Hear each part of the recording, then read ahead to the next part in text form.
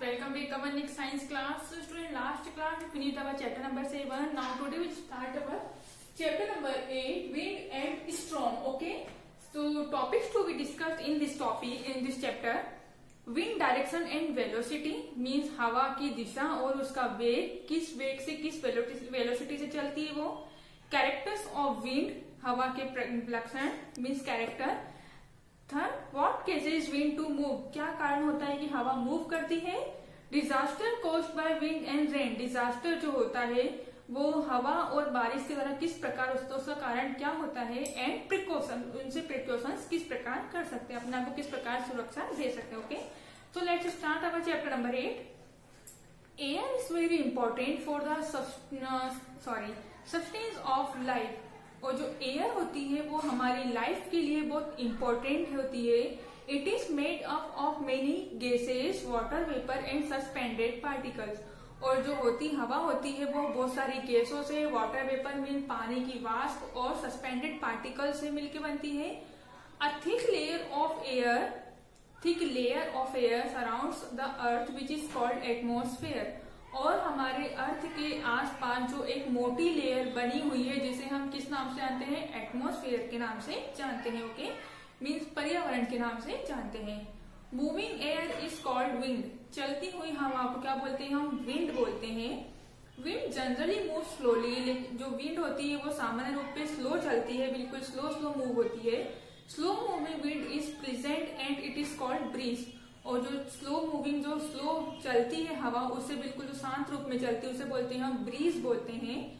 Sometimes wind start blowing fast and blow away small and light object क्या होता है कभी कभी जब हवा एकदम तेज हो जाती है, उसमें क्या होता है लाइट के जो ऑब्जेक्ट रहते हैं, चमकने लगते हैं। Wind it is so strong and violent it is uproots trees destroy homes and other structures और जब हवा तेज चलती है तो वो क्या होती है? जब वो बहुत हिंसक घातक हो जाती है तो क्या करती है?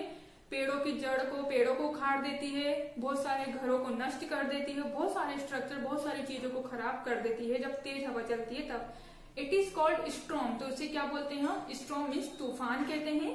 It causes a great loss of to life and property and has is term a the natural disaster और क्लाइमेटी और इसका कारण ये है कि बहुत सारे लोग अपनी, बहुत सारी चीज़ों को खो देते हैं, अपनी प्रॉपर्टी अपनी जो भी धन दौलत रहती सब नष्ट हो जाती है। उसे क्या बोलते हैं हम? नेचुरल डिजास्टर बोलते हैं। Okay in this chapter you you study the the of air and their relation with wind related natural disaster तो इस चैप्टर के अंदर आप यही पढ़ोगे कि जो हवा है, जो एयर है, उसके कैरेक्टर्स क्या है और उसका किस किस से रिलेशन विंड के साथ क्या रिलेशन है? नेचुरल डिजास्टर के साथ क्या रिलेशन है? Okay so let's start our first topic wind direction and velocity wind direction means हवा की दिशा.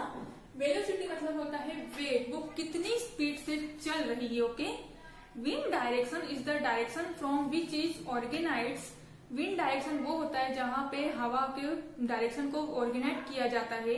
For example a northerly wind blow from north to south जैसे एक एग्ज़ाम्पल के लिए देखें, हम जो नॉर्थली साइड होता है, वहाँ पे हवा नॉर्थ से साउथ की तरफ़ मूव कर रही है। Wind vanes are commonly use to determine direction of wind तो जो विंड वेन्स होती है, जो विंड वेन्स होती है, जो उसके पंख होते हैं, वो क्या करती है? उसको यूज़ करते हैं हम हवा का डायरेक्शन जांचने में, ठीक है? To obtain an accurate reading जिसमें क्या होता है, हमें एक एक्यूरेट रीडिंग मिल जाती है कि हवा किस स्पीड से कितनी कहाँ तक जा रही है। The wind vane weather wing जिसे हम वेदर विंग के नाम से भी जानते हैं must be located well above the ground and away from buildings trees and other object which interfere with correct wind direction और ये जो, इसे हम कहा लगाते हैं? जो विंड वेन होता है, उसे हम एक ग्राउंड में लगाते हैं, जो क्या होता है? बिल्डिंग पेड़ एंड अदर ऑब्जेक्ट जो उससे इंटरफेयर करते हैं, जिसके साथ वो करेक्ट डायरेक्शन में आ जाए, उसे हम वहाँ पे लगाते हैं ओके अब आता है नेक्स्ट हमारा विंड वेलोसिटी मीन्स हवा का वेग.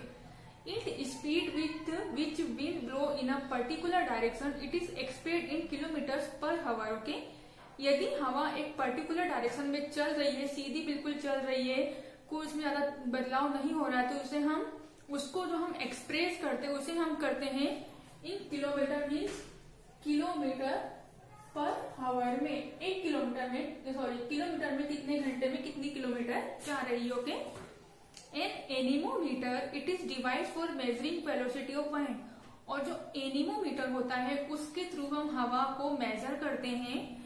It is use in weather station और ये कहाँ यूज़ किया जाता है? वेदर स्टेशन पे यूज़ किया जाता है। जो मौसम विभाग होता है, वहाँ इसे यूज़ करते हैं। The term anemometer is derive from the Greek word anemos mean mean wind अब जो एनिमोमीटर है, वो हमें ग्रीक वर्ड से मिला है, जिसका मीन्स होता है एनिमो का मतलब होता है विंड ओके तो इसको बोल दिया हमने एनिमोमीटर मीन्स हवा का metre Admiral Buford in 1805 invented the Buford scale, which was useful in estimating estimating wind speed through observation object. Admiral Beaufort था, उन्होंने 1805 में इसका इन्वेंशन किया था। एक स्केल का इन्वेंशन किया था, उन्होंने हवा की स्पीड को नापने के लिए। Originally it was device for use in oceans but later it was adopt use for on land as well देखिए, इस डिवाइस का जब इन्वेंशन हुआ था तो इसे सबसे पहले कहाँ यूज़ किया गया था? ओशियंस में नापने के लिए किया गया था। ओशियंस को जो गहराई होती है, उसके लिए किया गया था। लेकिन बाद में इसे कहा यूज़ किया गया?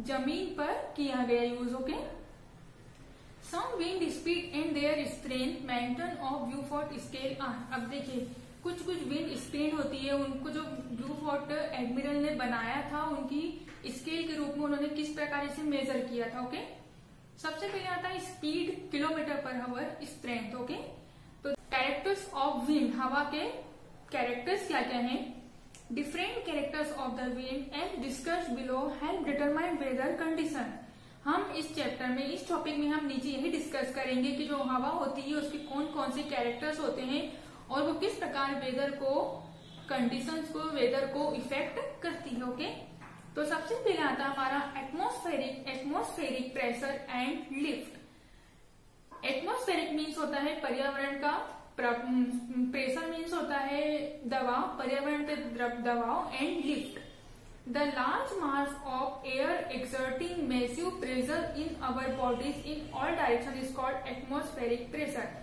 एक बड़ी मात्रा में, एक बड़े द्रव्यमान में जब हवा पे प्रभाव पड़ता है हमारी बॉडी के द्वारा, जब वो सारे डायरेक्शन में चलती है, उसे बोलते हैं हम एटमोस्फेरिक प्रेशर बोलते हैं। We do not feel it because the fluid inside our body इसे हम फील नहीं कर सकते, केवल हमारी बॉडी के इन साइड बाहर ही बहती रहती है। Exert is much pressure is the pressure outside जो क्या होता है, हमारी बॉडी के बाहर आउटसाइड मीन्स बाहर दबाव डालता है। Air pressure varies from place to place देखिए, जो हवा का दबाव होता है, वो हर एक जगह पे अलग अलग होता है। Air move due to this different in pressure around the world पूरे वर्ल्ड में हवा का जो प्रेशर होता है, हर एक जगह से अलग अलग जगह से हवा पे प्रेशर पड़ता है।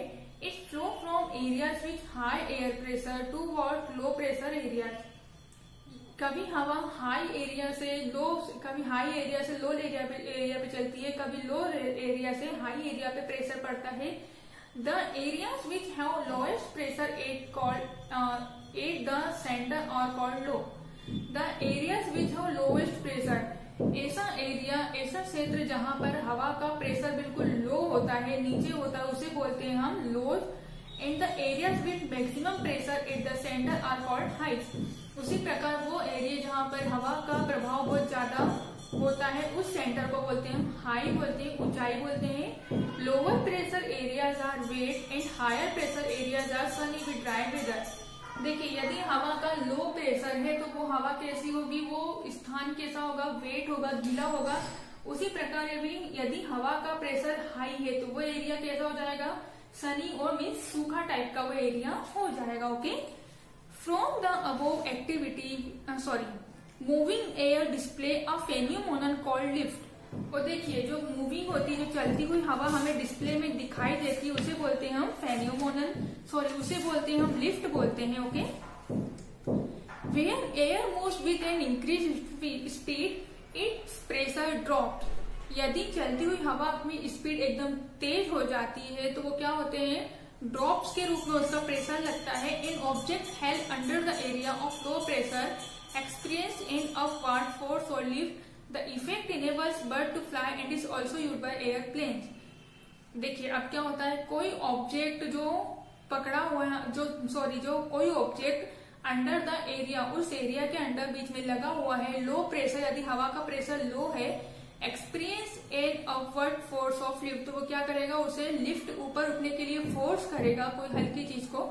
This effect enables birds to fly birds to fly and is also use by air airplanes आप लोगों को इतना समझ में इसके आगे का नेक्स्ट टॉपिक हम नेक्स्ट क्लास में डिस्कस करेंगे. Thank you